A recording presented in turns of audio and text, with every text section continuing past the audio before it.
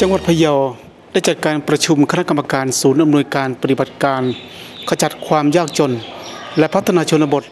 ตามแนวทางของปรัชญาเศรษฐกิจพอเพียง จังหวัดพะเยา หรือสจพจพะเยา ครั้งที่ 1 ปี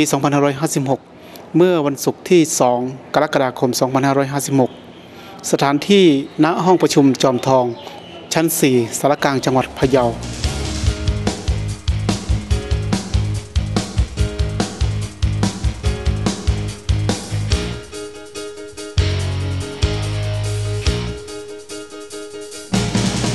เรืออากาศตรีสุวิชาแก้วมณี รองผู้ว่าราชการจังหวัดพะเยา ได้เป็นประธานในที่ประชุม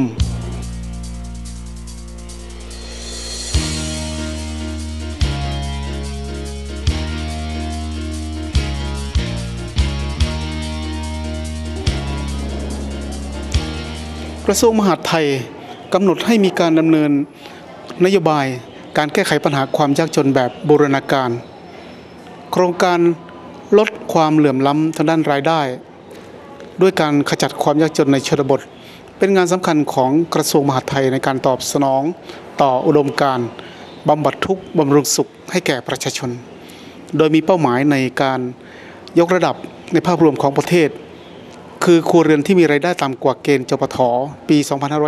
2555 นั่นหมายถึงที่มีรายได้ต่ำกว่า 30,000 บาทต่อคนต่อปี ให้ลดลง จำนวนทั้งสิ้น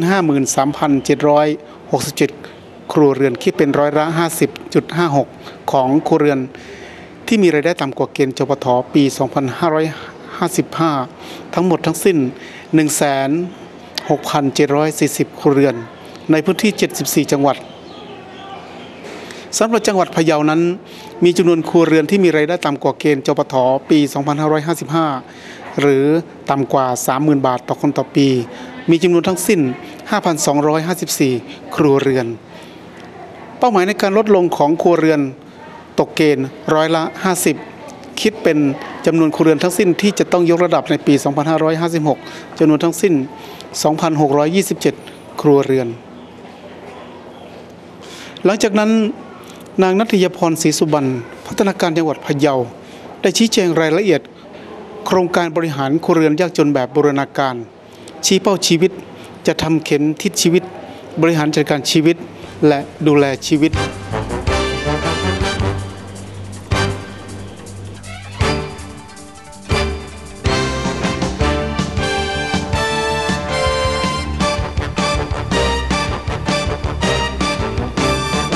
หลังจากนั้น